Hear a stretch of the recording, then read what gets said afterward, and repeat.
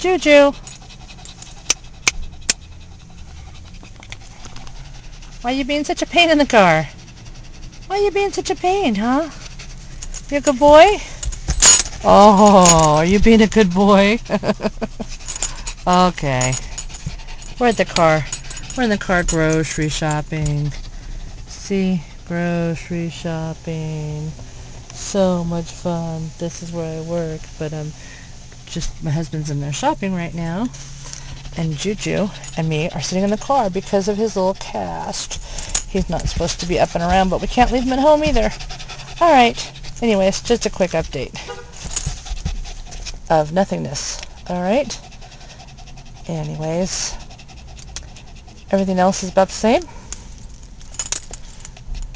Still life as usual. But I'm on vacation this week, and I turned 40 on Tuesday, so that's yucky and I feel very old. Age is just a number, but man, it's hit me hard. I don't want to be 40, but I am. All right, then. I hope everyone has a great weekend, and I'll talk to y'all later. Oh, he's going to lay down and be calm now. That's shocking. All right, bye.